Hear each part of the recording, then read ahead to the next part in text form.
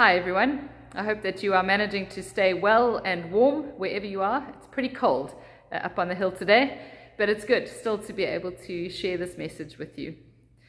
Now there's a story in the Gospels uh, that I've always thought of as a bit of a, a, strange story. It's full of drama. It's a kind of a, a made for Netflix type of story. It's the story of how Jesus heals a demon possessed man. Jesus and his disciples go across the the Lake of Galilee and they get to the other side. And when Jesus steps ashore, a man comes to Jesus who has been possessed by demons for many years. And the story tells us that uh, he hasn't worn clothes for a long time, he's naked, that he lives out amongst the tombs, and that the community have tried to, to literally keep him chained down, but he regularly breaks his chains and goes off to be on his own uh, in his home amongst the graves. And when this man comes to Jesus, the demons in him start crying out to Jesus, uh, asking, What do you want with us? Uh, and begging not to be sent into the abyss. And Jesus asks the man, He says, What is your name? And the man says, My name is Legion because there are so many demons. And uh, it's this amazing story of how Jesus then sends the demons into a herd of pigs who happen to be feeding nearby, and the pigs go completely mad and they rush off down the hill and are drowned uh, in the lake. And obviously, the people who are watching the pigs are concerned by everything that they're seeing, so they go into town to tell the people what they've seen. And everyone from the town comes and they find this man who they've always known to be wild and crazy. Uh, they find him clothed and in his right mind, sitting at the feet of Jesus. And these people are now completely freaked out by what they've seen. And so they ask Jesus to leave. They say, Jesus, you can't stay here. And as Jesus is getting in the boat to go, the man, obviously now uh, healed and in his right mind, wants to go with Jesus. And he says, Please let me go with you.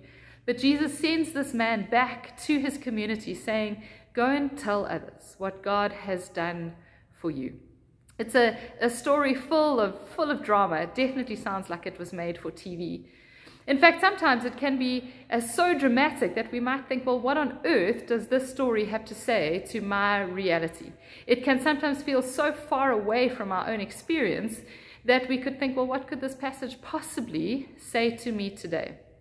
And now we know that uh, mental health is a real struggle, uh, but we might feel like, you know, wandering naked around a graveyard is not really where we are at the moment. So, so how can we identify with this man? But Perhaps we can identify with the man in, in other ways. Maybe, maybe you know what it feels like to be rejected. Maybe you know what it feels like to live outside of the circle for whatever reason. This man was in no way acceptable company. And maybe you know what it feels like to be left out. Now, you may not have a legion of demons, but maybe you know what it feels like to be so completely overwhelmed by your problems that you don't actually know where to start or how to name them. And I know this man, when he thought about his life and the plans he had for his life, I'm pretty sure that this was not what he had planned for how his life was going to work out. So maybe you can relate that sometimes our lives get derailed so properly and so quickly, they just don't go to plan. Or maybe, like the man, you feel chained, chained to something or by something. So we may not share his literal experience, but in terms of the human condition, there is a lot here to which we can relate. And so we ask the question well, what does Jesus do? What does Jesus do? How does Jesus respond to this man and all that he's got going on with him? Well, the first thing we see in our passage is that Jesus comes to find him. Jesus crosses the lake to where he is. Jesus doesn't wait for the man to pull himself together, to get his issues sorted out, to come and to find Jesus. Jesus crosses the lake to him, naked, lost, and alone. It doesn't matter. That is the nature of grace. Grace always comes to find us. Grace goes looking for lost sheep, for lost people. Jesus goes to him. And in the same way, Jesus will always come looking for us. That is the nature of grace. That is what God does. God looks relentlessly for you and for me, searching us out. Because we belong to God, God does not stop looking for that which belongs to Him. God says, I'm coming looking for you. Don't wait till you've got everything figured out. Don't think that you have to come searching for me. I see you. I love you. Grace comes looking for you. The second thing that Jesus does is he asks the man his name. What is your name? Jesus asks not because he doesn't know who he is, but because he knows that part of this man's journey of healing is remembering who he is, recovering his humanity, recovering his identity, that he is more than just his condition or his problems or his illness. He is a known and loved child of God. Is Jesus asking your name?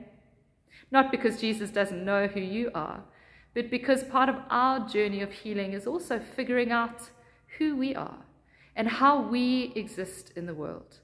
The invitation from God is not just to find ourselves, but to find our identity as known and loved children of God. Jesus comes looking, Jesus asks our name, and then Jesus sends us back. Jesus sent that man back into the world, not because Jesus didn't want him with him, but because that man had a purpose, and Jesus knew it. That the healing of that man was about more than just his own story. It was for more than just his sake, but there was a greater good involved as well that that man got to be a part of. His life could show others what God can and will do. So Jesus sends him back. We also have a purpose. And God at work in our lives is not just for our sake, not just for our bubble, but so that others can know the goodness of God.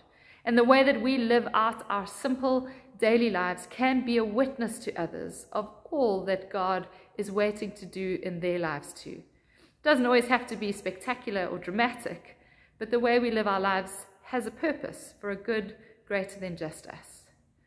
Jesus comes to find us. Jesus asks our name. Jesus sends us back. May you hear the invitation today, wherever you find yourself. Amen.